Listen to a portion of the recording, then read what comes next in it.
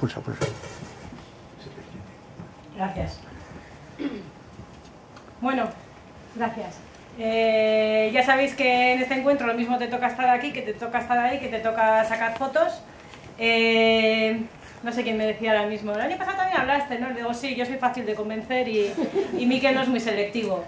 Eh, entonces, pues es verdad que yo creo que todos tenemos un, eh, años de experiencia ¿no? en el trabajo en digital y en educación y en conversaciones y bueno, pues la idea es poder compartir este, este espacio. Eh, creo que ya les conocéis de sobra, ¿no? Porque Gorka también el año pasado rompió un móvil aquí, en directo. Eh, Iñaki Murua y sus cibercomunidades de aprendizaje. Yo creo que a todas las personas que, eh, que andamos en las redes y en educación estos años, eh, pues, pues hemos admirado su, su trabajo. Y Germán, pues, pues con sus conversaciones y pionero también en, eh, en blogs, pues creo que también tiene bastantes que aportar, ¿no? Nosotros también, pues yo intenté eh, coordinar a estos, fijaros qué reto, valiente soy desde luego, porque coordinar a eh, esto y 40 minutos tiene su aquel. Eh, valiente también soy porque... 40 justitos. Vamos a 40 andar justitos, justitos ¿no? ¿Cuál- ¿Hasta qué, hasta qué hora vamos a estar? ¿Son Venga, marca 25? que está ahí 30. Hasta ahí 30, vale, pues 25 minutos.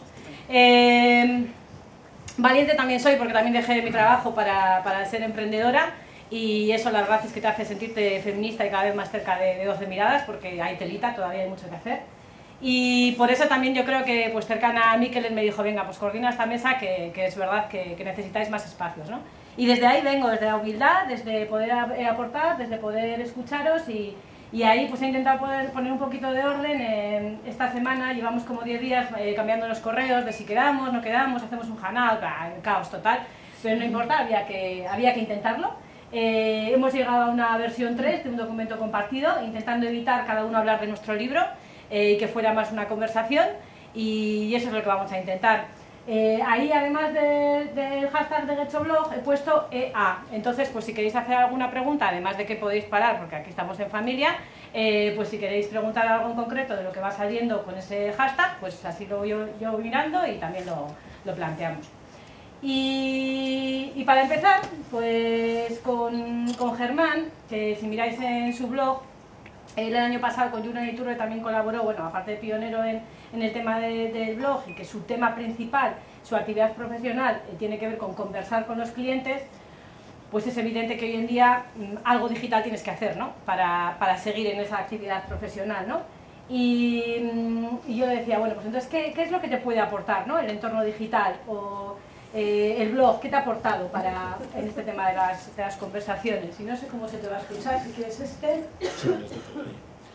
Eh, gracias, Ichi. ¿Está encendido? ¿Se me oye? Sí, sí.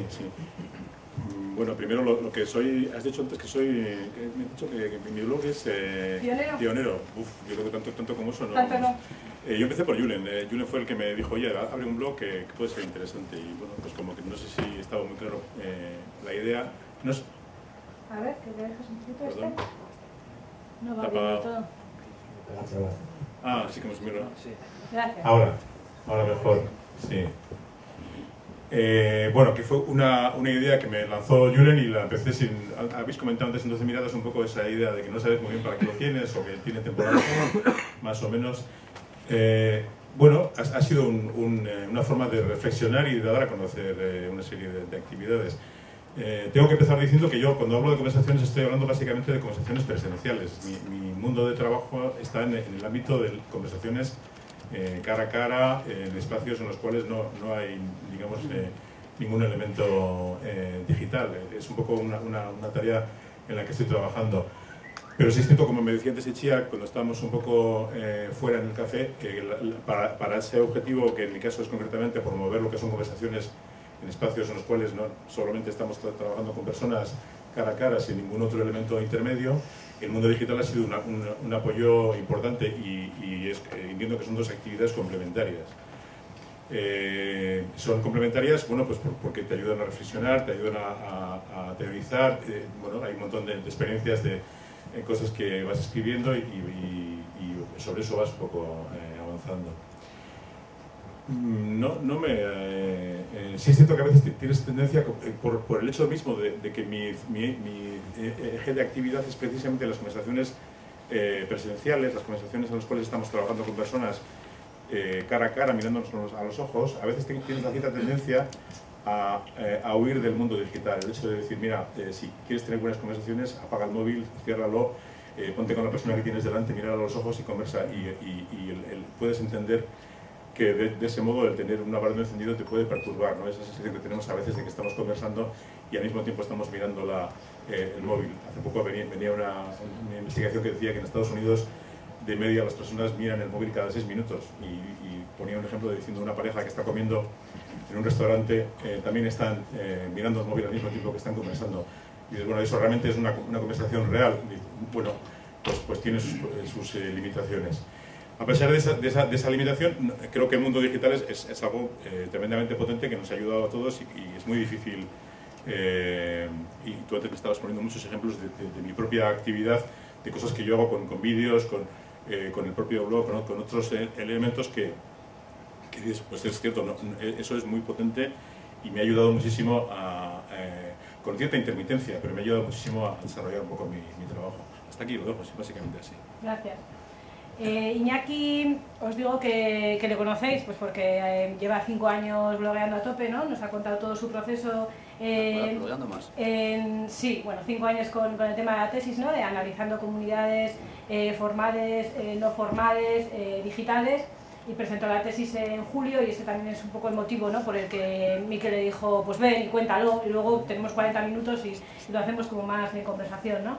Y, pero sí creo que hay una parte muy importante que tú has analizado, estudiado, escuchado y cuando estábamos hablando de las ideas fuerza, de lo que nos unía aquí, eh, en tus mensajes yo entresacaba eh, pues eso, el silencio atronador de las comunidades o el exceso ruido, eh, la, mera importancia de la, herramienta, la herramienta sobre la herramienta. Eh, pero, ¿qué es el pegamento? ¿Qué es lo que hace que, que, que esto funcione o no funcione? ¿O qué, qué nos puedes contar de esto?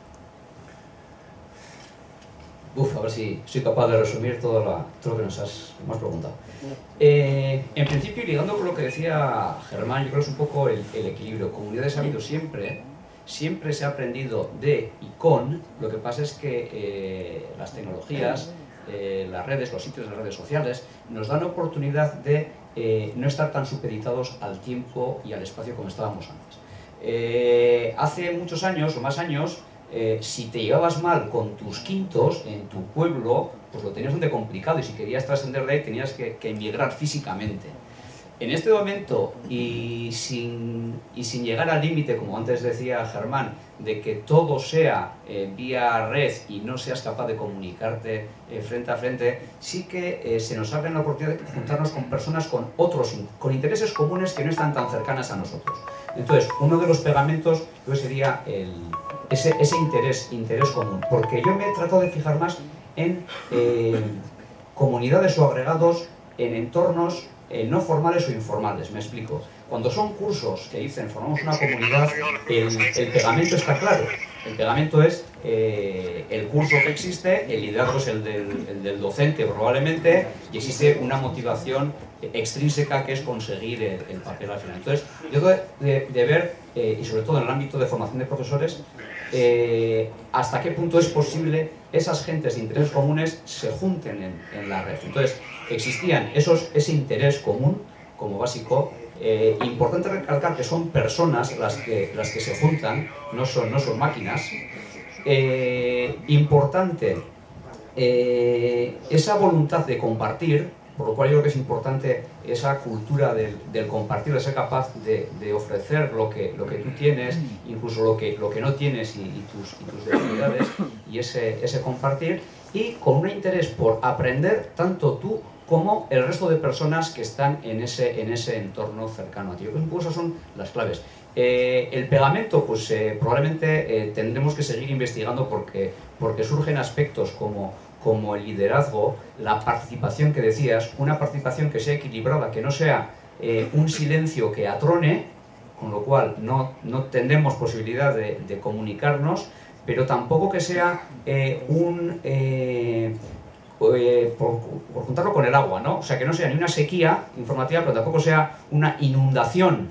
Y muchas veces existe, y en las herramientas salía, que se valoran muy bien los foros, pero los foros en realidad, los foros tal y como los conocemos, yo creo que tienen eh, problemas en cuanto a construir discursos compartidos, muy difícil, y que muchas veces la participación, no sé Gorka está de acuerdo, es una participación social. O sea, cuando es participación social sí que eh, surgen más mensajes, pero cuando hay que eh, interaccionar, construir ese discurso, eh, ya es, es, más complicado. Es complicado en presencial, con lo cual es complicado en, en la red. Es que recasco. Gorka, ya sabéis que bueno, siempre está investigando a una velocidad tremenda en nuevas herramientas, nuevas funcionalidades y él nos quería enseñar un poco cómo está usando Telegram y bueno, él, nos lo, cuenta mejor. Yo creo que en las ideas fuerzas que recogía también era el tema de la inmediatez, eh, cómo eso puede ser un valor, una virtud y, y, en esa línea creo que has trabajado en los últimos meses, ¿no? Sí, gracias, sí. Gracias, Ichia, sí, así es. Bueno, entonces voy a ver si soy breve, ¿eh? porque si no, Begoña nos va a echar la, la uh, Bien, eh, Telegram eh, ha traído yo creo que muchas cosas este verano. Una explosión, una revolución. Yo creo que es el mejor programador que existe hoy en día en Europa, no voy a decir del mundo. Son los hermanos uh, Durov, de Petrogrado, tanto Pavel Durov como Nikolai Durov. Bueno, además de ser eh, jóvenes, estos son los, como los creadores de Google en, eh, Estados Unidos, eh, Sergey Brin y Larry Page, el ucraniano y el, y el estadounidense, bueno, pues los hermanos Durov, además de convertirse en multimillonarios, nada más vender VK, decidieron que iban a hacer la mejor mensajería multifuncional, multifuncional que existe, además de ser segura. Bien, eh, yo creo que lo han conseguido y este verano ha sido, yo creo que la gran noticia que hemos tenido en la educación precisamente, la apertura de canales, eh, los bots o autómatas, etcétera.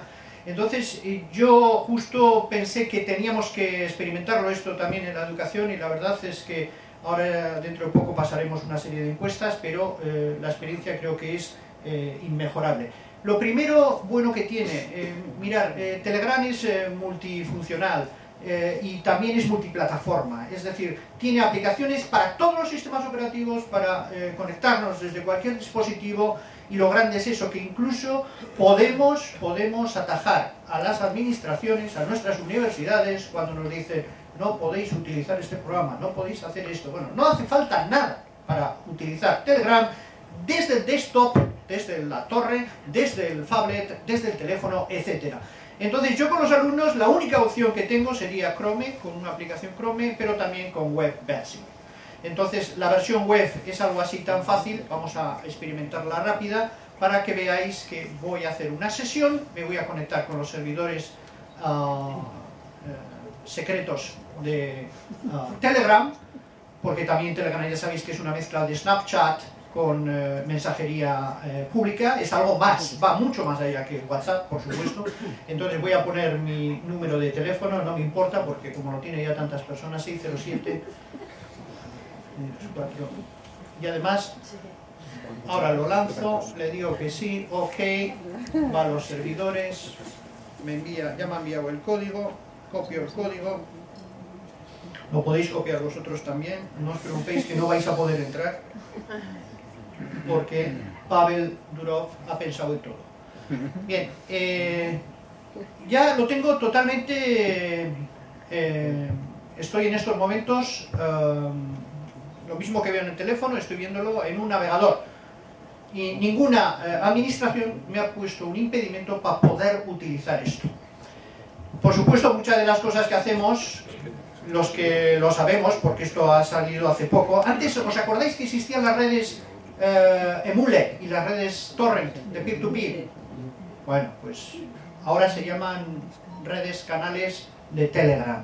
¿no? Entonces, gracias a, Telegram, pues lees las, las, noticias, las noticias de, lo, de, los, últimos, vas al canal de chollos y ves lo que 4.000 personas estamos compartiendo en tiempo real sobre los chollos que están apareciendo en todo momento. Yo el otro día me compré, y a los alumnos también les hice casi algunos también compraron porque la verdad 64 gigas por 6 eh, euros eh, en una mini para, para el este. Pero bueno, eso es la inteligencia colectiva. Es decir, Solamente estando en estos canales, eh, voy a entrar en kiosco para ver a ver la prensa de hoy, lo que están compartiendo, Mujer Hoy, ABC, Mundo, Telva, todo el PDF, o en EPUB, El País. Así dices, poca gente compra los periódicos. Está claro. Incluso puedes irte a tu a salas multicine y puedes ver las películas en Blu-ray, ver de qué va, bajarlo, claro, porque es que Telegram te permite 1,5 gigas. 1,5 gigas. Eso significa que eh, podemos meter en los servidores casi cualquier cosa. Yo, más que nada, lo utilizo, aparte de eso, lo utilizo sobre todo para eh, mis canales educativos, eh, porque también hay canales educativos, y con los alumnos. Este es, por ejemplo, esto es el canal con los alumnos. Compartimos cosas. Este es Nikolai Durov, Pavel Durov y Nikolai, los dos hermanos. Bien, bueno, pero han aparecido los, los bots, los autómatas. Son extras muy importantes. ¿Qué son? Son como personas